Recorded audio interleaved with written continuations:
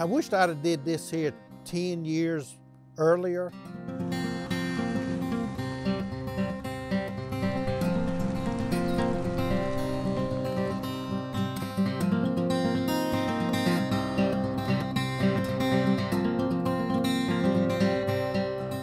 Uh, the farm was bought in 1922. Will be 100 years next year. My kids are the fourth generation to live here on the farm. It's 100 acres. We used to be a tobacco farm and uh, switched over in 2005. Uh, took the buyout and started raising strawberries. And from there, we went to doing pumpkins, blackberries, and this coming season, we're getting ready to put in the uh, sunflowers and hope that we have a sunflower festival.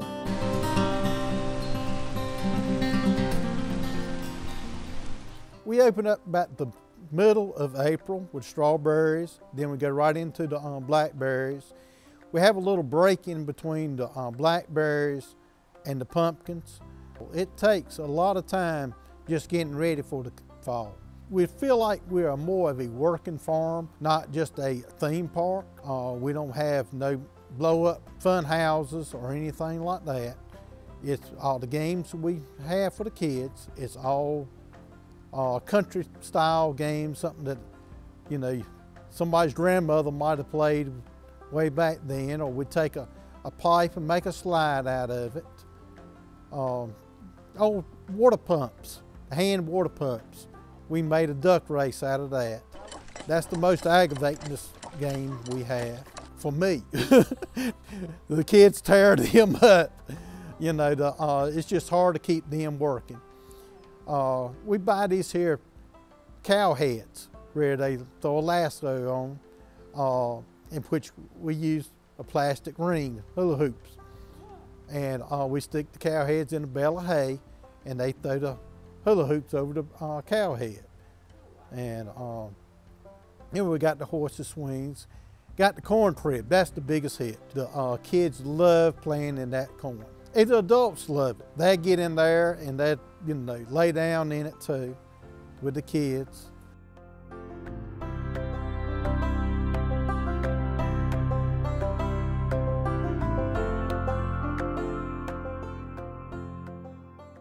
We do uh, school field trips. Uh, and that's something else. The kids, they come into the cow barn, they get to see the cows. Uh, you know, we have baby calves, they get to see the little baby calves. A lot of kids ain't never been this close to a cow before. Uh, and we even got one horse. And uh, I've had kids to tell me, say, that's a funny looking cow. You know, and they don't even know that's a horse.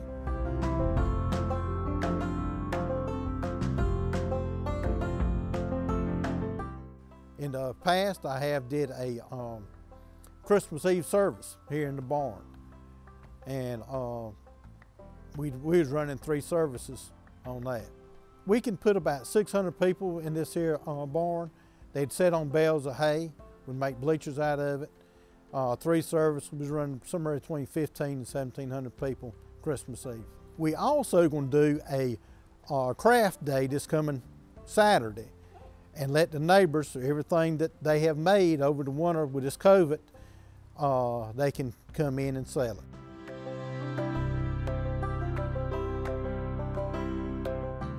All the time we have uh, families come in, spread out the blankets. Uh, last Saturday they went over there to the blackberries and they uh, spread the blanket out on the ground. You know, they had them a little picnic. Uh, we have them under the uh, maple tree up there in front of the house that we used to let them come down and use the uh, picnic tables for used for field trips and all. We had a problem in the past. We had people opening gates, going into the cow pasture, and uh, so we had to stop the public from that.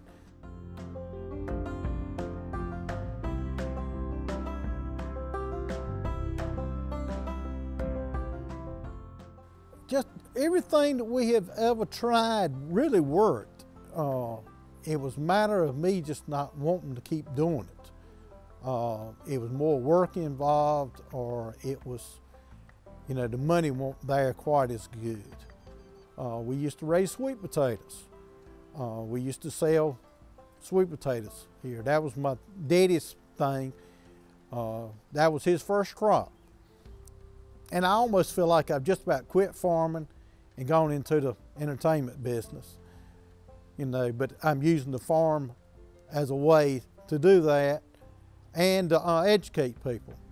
Uh, you know, just different little things, how we're trying to keep the water clean, uh, erosion and all, and the rotation of crops. I've had a couple people that have came to me and checked my farm out because uh, they was kind of wanting to start something like this right here. Uh, I got a neighbor. I kind of helped her get started with the uh, blueberries and blackberries. And uh, I think that's going to do real well for her. Uh, this past week, a guy from Dunn, he called me up and uh, he wants to come up and visit my farm and he wants to put a corn maze in this coming year. He wants me to come down there and, and kind of help him lay it off and see what I think about his location. Uh, the public is not for everybody. You know, you got to put up with a whole lot of stuff dealing with the public. And it's a good extra income for a family farm. Do you do and pick up. Every farm has got its own story. You look around and you can find something that can make your farm step aside from the other farms around you. You know, I know some guys within four miles of each other, and both of them's got ag tourism farms. They're all different. One of them might be doing a little haunted stuff. The other one might be doing just strictly you pick. But, uh, you know, it's room out there for everybody. Everybody just do, you know, their own thing. Just don't think that you got to go over there to your neighbor and get all his ideas. That come back and look around your farm and you'll see something different to make your farm stand out. That uh, I think what makes my farm stand out from the other ones is this cow barn. The people can come in, they can see the cows. When they get on the hayride, they go through the cow pasture. They get to see the cows there. Uh, at the end of the pumpkin season, we have a pumpkin chunking to the cows. And they go in the field, they pick up the pumpkin, they get two of them, one to carry home and one to throw to the cows. The cows come running when they see that wagon. Now at the end of the day, they don't run quite as fast.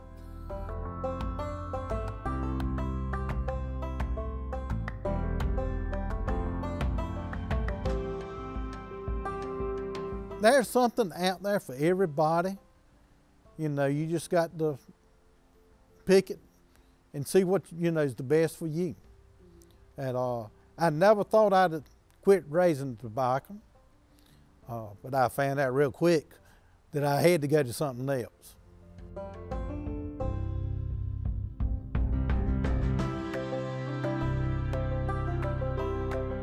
I wished I'd have did this here 10 years earlier, I think I would be farther along.